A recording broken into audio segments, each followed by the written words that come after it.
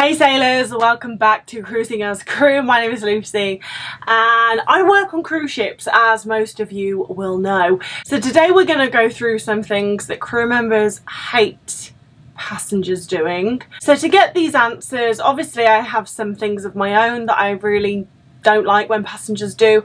But I actually went around different departments and asked a few of my colleagues what's something that you really don't like when passengers do? So I've got a rather large collection of things that crew members just hate when passengers do on board cruise ships. So let's get into it. But before we start, I just want to remind you to go over to my website and check out my career guides. If you are an aspiring crew member, you want to work on cruise ships, everything you need to know about being a crew member, getting on board your ship, getting your medical, packing can be found in those career guides over on cruisingascrew.com. And you can also get in touch with me there as well. So let's get into the video. This one was a very popular one and the thing that they hate is when passengers comment on their English. On cruise ships there's a lot of people from the Philippines, from India, from South Africa, Spain, Serbia, Ukraine. So everyone has a different first language and everyone has an accent. And it is scary going to work on a cruise ship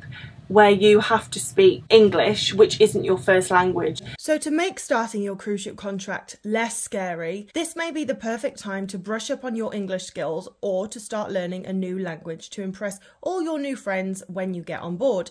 And this is why today's video is proudly sponsored by Babbel, the number one learning app in the world with over 10 million subscribers worldwide. This is the app I use to learn Spanish and it really does make learning another language fun and easy. You can choose from over 13 different languages and my favourite thing is you can learn in easy to digest 15 minute chunks. And something else that I really love about Babbel is you can actually download the classes, which means that if we're going to have a sea day and I know the Wi-Fi is not going to be good, I can download classes ahead of time and I don't need Wi-Fi to complete them. And what's great about Babbel is universities have shown that just 21 hours on Babbel is equivalent to an entire college course. So you can pause this, click the link in the description below to get 60% off a Babbel subscription for a limited time only. And there's also a 20 day money money back guarantee. So now really is a perfect time to start learning a new language with Babbel. When you're learning a language, it's all about like growing your confidence. So it's really, really crap when you have a passenger say something bad about your English. And and I don't mean like obviously you can say oh could you repeat that please? or I didn't quite understand you. What was that? But what crew members hate quite rightly is when passengers are like you need to learn English. Your English is terrible. You know something to that effect because they're assholes but obviously that can set that person back weeks because then they're like oh my god now I don't want to say anything because their confidence has been shot. And I always just think like the people who make comments like that are generally people who only speak one language. And unfortunately it's usually English because we're assholes. Or like English, American, Australia like it's usually people who speak English as a first language. And to be honest I'm I'm saying this knowing that none of you guys watching this video would ever say something like that because you're all wonderful people. Um, but just to bring it to your attention as if you couldn't have guessed it's something that crew members hate you know when passengers say something mean about their language ability about their English ability because they probably already feel a little bit insecure about it. So it's not nice when someone pushes that button. One of my pet peeves is when you greet someone, say, hello, welcome to the shop, I hope you're well, or just hello, and you get completely ignored. I can I get it. I understand why they're ignoring me. They obviously want to shop in peace. They don't want to be spoken to. They don't want me to help them shop at all. That is absolutely fine. I get the hint. Um, but it would be nice if there was like a hello or a a nod even. I could I could deal with a nod, um, but just to get completely blanked is always just a little bit disrespectful and it's just not nice. It's just, it makes you kind of be like, oh god, why do I even bother greeting these people? When it's ridiculous because most of the time I say hello to people and they they say hello back and it's a nice interaction. Whether in the shops, whether in a restaurant, whether just around the cruise ship, I really hate it. Or whether I'm off the cruise ship and I'm just greeting someone who also works on the ship or a passenger or anybody I just hate it when you get completely ignored. Um, so yeah, that is one of my pet peeves. So if you are going on a cruise ship and a crew member greets you and says hello, you don't have to get into a full-blown conversation with them, but it is nice just to give them a little bit of acknowledgement, just a hello or even a head nod um, yeah, just try not to completely blank people who are trying to be friendly towards you. So one that was talked about quite a lot was actually cultural stereotyping. I'll give you an example. So I actually was um, privy to this one. So I was stood outside the shop with my friend from Colombia and a sailor came up to her and like you know we, all the three of us like got into a conversation and oh where are you from? England Colombia. And then she asked my Colombian friend she was like oh you done cocaine? Do you like cocaine? I bet you get some great cocaine. My friend had never ever ever ever touched drugs. Just not her thing. But like I was just like oh my god I cannot believe you asked that because she said she was from Colombia. You know, it's just a bit, it's just a bit insensitive. So just be careful when you are like asking your questions. Like obviously it's fine to ask people about the country that they're from, but try not to stereotype a person. I know it's difficult you know, cultural stereotypes are there for a reason. If you're going to make a stereotype, just just think about it before you say it and make sure it's nothing that's going to be offensive. Because it works the same both ways. Like there's a lot of American sailors on this ship and I know that like Americans get really upset when there's the stereotype of like, oh, all Americans are dumb. So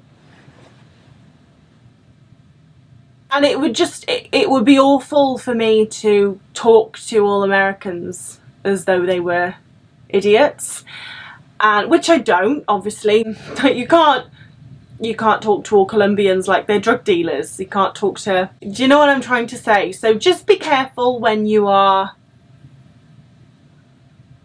conveying with someone and you're talking about their country because um, although you might not find something offensive they might find it offensive. I hope that makes sense. And again, I'm sure that you guys wouldn't do this because you are wonderful people, um, but it happens, it happens a lot. So when talking to housekeeping and stewardesses, the thing that I got overwhelmingly was we hate it when the cabins are left like messy. They were like our because our job is to clean not to tidy. It's fine when there's a few like a few t-shirts left on the bed or you know that it's a little bit there's a little bit of clutter and stuff but like some cabins you go in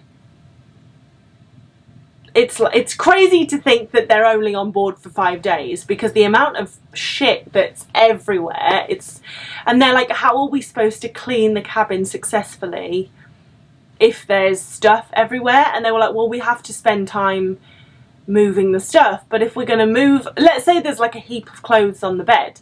They're like but we can't just like move the heap of clothes on the floor. We have to fold the clothes.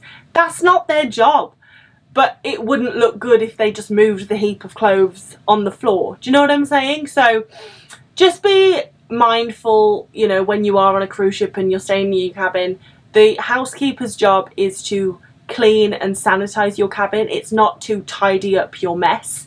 So just, you know, just bear that in mind. A little bit of clutter, absolutely fine. Everyone has a little bit of clutter, but don't be a complete slob because no one likes a slob. When passengers flirt with you and think that they have a chance with you just because you are a crew member. Now this one, I know you're all thinking, this is like one that came from a woman. Twice this came from two two guys, two crew members.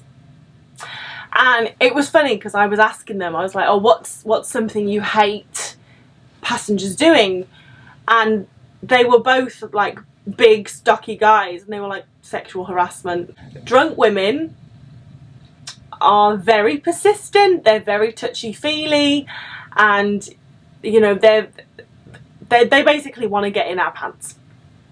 So he was just saying it's really annoying when, you know, you're just trying to do your job. Obviously you have to be friendly. Um, but it's it's hard when they take it another way and they think that they have a chance with you just because you're a sexy crew member. And you know it's a little bit forbidden so it's exciting.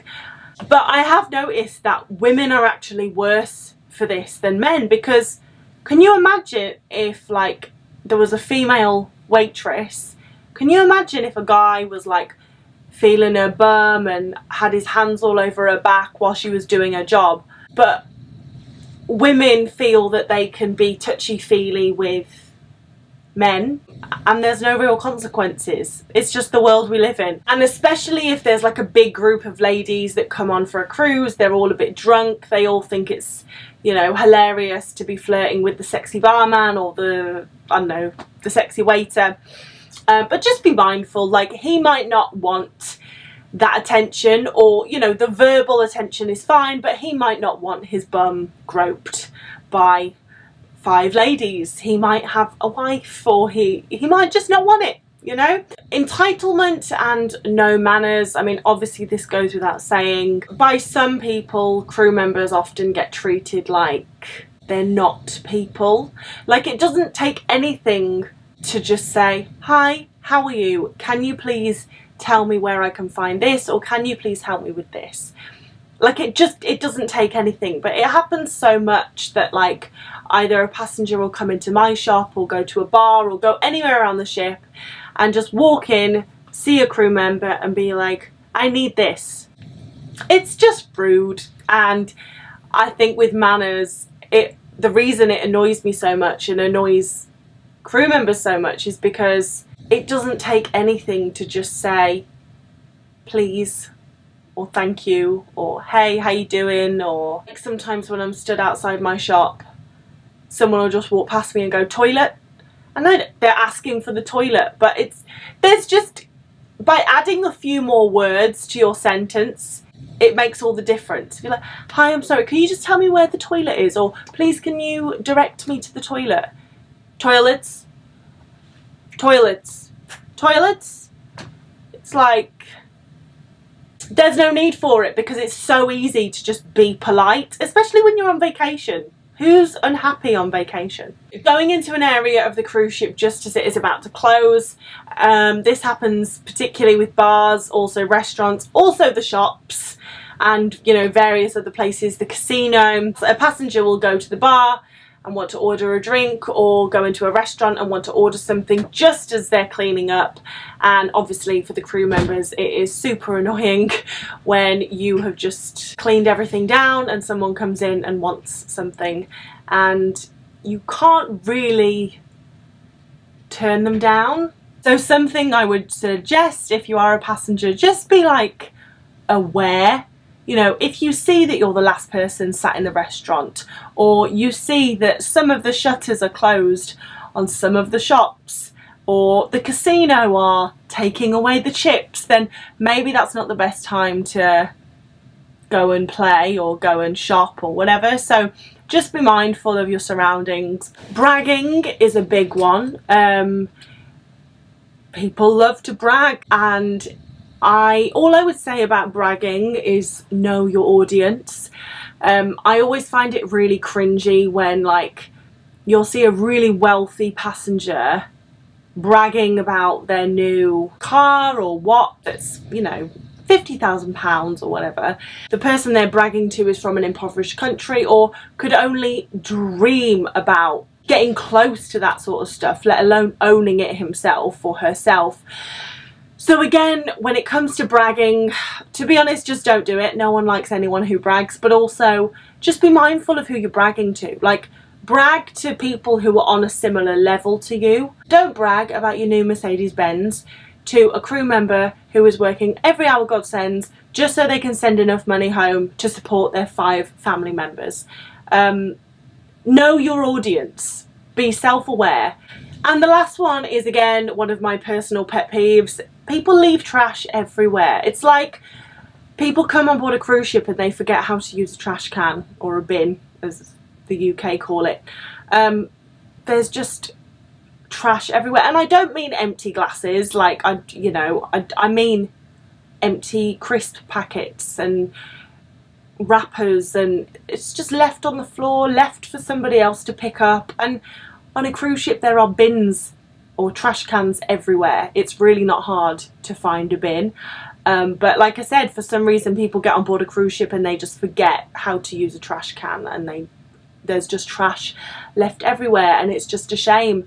And it really pisses me off. So whenever we go on a cruise ship we must remember to use the trash cans provided for us. But anyway guys, those are the 10 things that crew members hate passengers doing when they are on board a cruise ship. If you are a crew member and you have something that you hate, you can leave it in the comments so we can all see it. Um, if you are a passenger and you disagree with some of these things, you can also let us know in the comments and maybe we can start a discussion. Um, but yeah, I hope you have a wonderful rest of the day. Thank you so much for watching and I will see you in the next video.